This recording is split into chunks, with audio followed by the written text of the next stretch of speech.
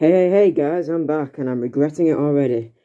Uh, sorry I've been gone for a fucking millennium. But I got good news. I've made this my full-time hobby. It's not really good news. But I've been very occupied with other stuff relating to a specific channel, be beginning with B, ending with Loppers Parties. And school. Yeah, school's back. I'm fucking dreading it. Anyway, I'm officially, officially I'm officially an art student now. And I've been drawing crap. And since I thought I hate you guys also daily because you watch my stupid content, I should show you. Fuck you. That's it. Yep, my utter garbage artwork.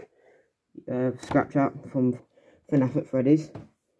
A skull from my basement.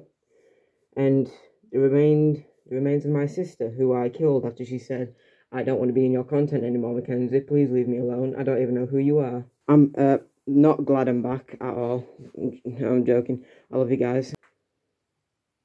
Look out on Bloppers Party's channel.